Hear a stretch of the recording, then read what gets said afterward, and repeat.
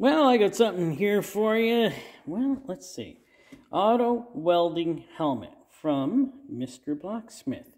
Now, this only cost me $17 at uh, Princess Auto this week. So, $17. Well, I don't know how good it's going to be, but uh, I don't know. Might do a test or two here with it to see how good it is. But it is solar powered, high clear view filter, perm permanent UV IR protection, high strength mask material, and sensitivity. Ooh, okay, so it's got those qualifications. Uh, let's see. Uh, good for shielded metal arc welding, MIG on heavy metals, MIG on light alloys, gas tungsten, arc welding, uh, TIG, of course, SAW shielded semi-automatic arc welding, and plasma arc cutting. Well, this thing does it all. This thing is awesome. I can't wait to get it open. So, let me get her open and we'll get a good look at it. And of course, we're in the shop at work here, so hopefully I can get this thing. Hate it when I rip boxes when I'm trying to open something. I really hate that. That really annoys me. So it opens straight up. Okay. Uh, let's see what we got here.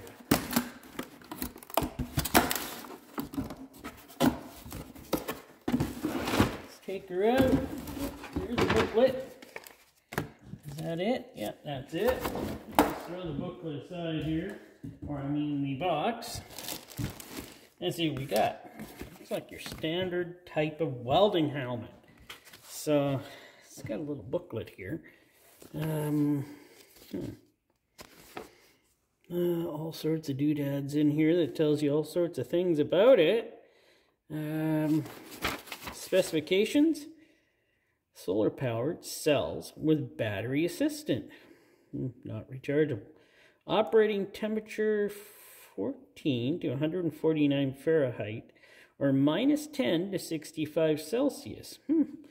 Uh, resting shade, shade number 4. Uh, shade range, 9 to 13. UV, oh, there's all that stuff. Uh, viewing area, 3.34 times 1.2, 1 and 2 thirds inch. Welding protection types, uh, we already read those. Lens switching speed, there we go. Uh, 25 thousandths, one, it's a 25 thousand second. Hmm. Hopefully that's quick. I'm not sure. We'll have to test that out. Uh, so, we see all of this stuff. I'm supposing they wouldn't sell this thing uh, and hopefully uh, wouldn't sell it uh, and have it that I'd get a flash before I'd actually start. I've had welding helmets that you get a flash actually before it would start to darken, which wasn't very good. This one does look half decent. Uh, pull that off. There we go. I suppose I could have done that better, but didn't give me a chance to. Okay, got that off. Oh, there's more here. Darn it. Good enough for now. Let's take a look at the inside here. Ah, the sensitivity is on the inside. So, hmm we have a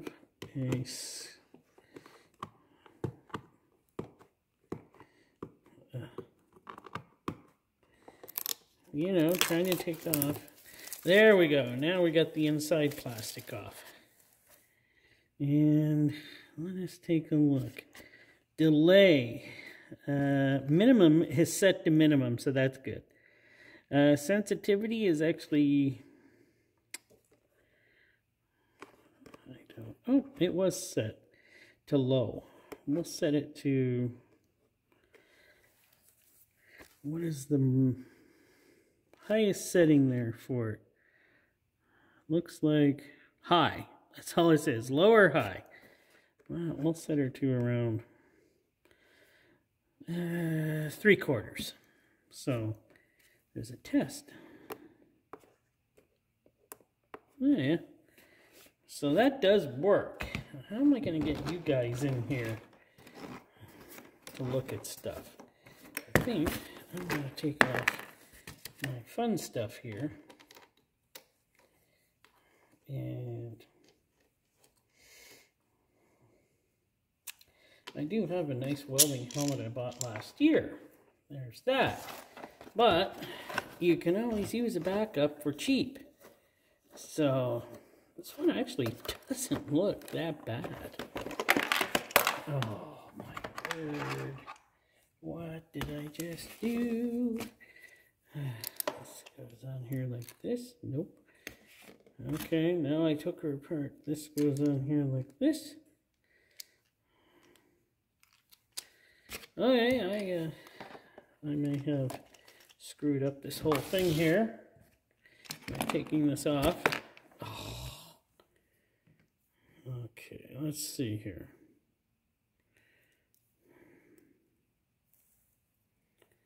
There. There. No. I don't know. I'll figure it out later. don't know. Just stick it back in the bag. I don't need it right now. Just stick it back in the bag. Just leave it alone. Wow. Oh, last time I'll ever use this product, right? I'll forget about that and take it out when I need it and be like, oh, I gotta fix this again.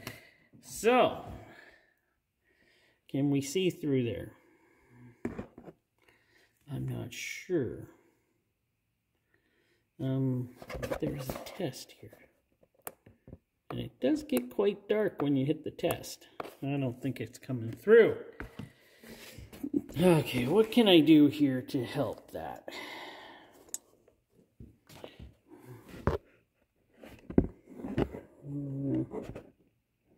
I don't have a light here. Okay, one second. So there we go. We can see the lights through there, right? Let me the button. There we go. So it does work. See the light? Let me turn the shade so that maybe you can just see it through there a little bit. So it does work.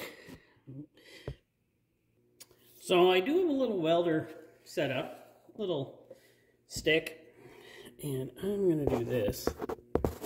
And let's see. Come on.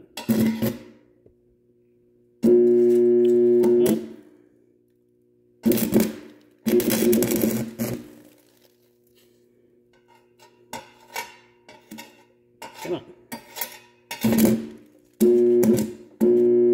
Come on.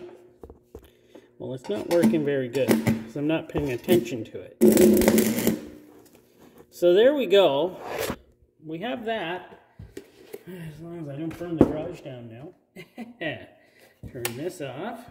But uh, we do see that this little welding helmet does work. So, well, it'll be good as a backup for me. So, uh, it's probably all it'll be used for. Yeah, watch. I'll probably start using it as my full-time welding helmet because it works actually. It looks like it works really good. So, uh, good old Mr. Blacksmith welding helmet here. Looks like it will work. For $17, uh, Princess Auto really couldn't go wrong with this uh, as a backup. And uh, uh, I think I'll be happy with my purchase. Uh, now I just got to figure how to put the, uh, the harness back on it after I screwed that up big time. So... Uh, it was just a little video to show you this cheap welding helmet to see how it actually worked. And um, I hope I accomplished that. So, well, thanks for watching if you did.